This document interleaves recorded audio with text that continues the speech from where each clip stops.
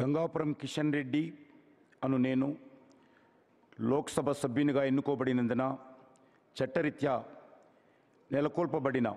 భారత సంవిధానం పట్ల యథార్థమైనటువంటి భక్తి విశ్వాసములు కలిగి ఉంటానని భారతదేశపు సర్వసత్తాక అధికారంను అఖండతను సమర్థిస్తానని నేను స్వీకరించబో